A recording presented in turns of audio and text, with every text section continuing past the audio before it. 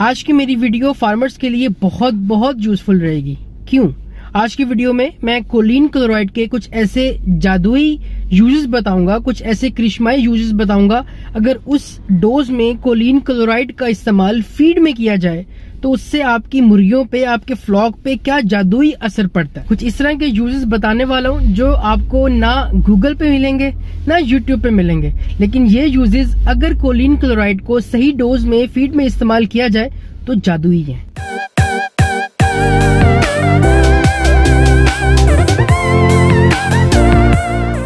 अस्सलाम दोस्तों। कैसे हैं आप सब? उम्मीद करता हूँ आप सब खैरियत से होंगे। सेफ़ होंगे हेल्दी होंगे। तो वेलकम है जी एक ब्रांड न्यू वीडियो में।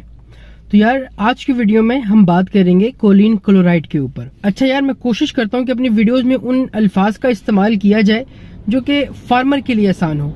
जो दोस्त, जो स्टूडेंट्स मेरी वीडियोस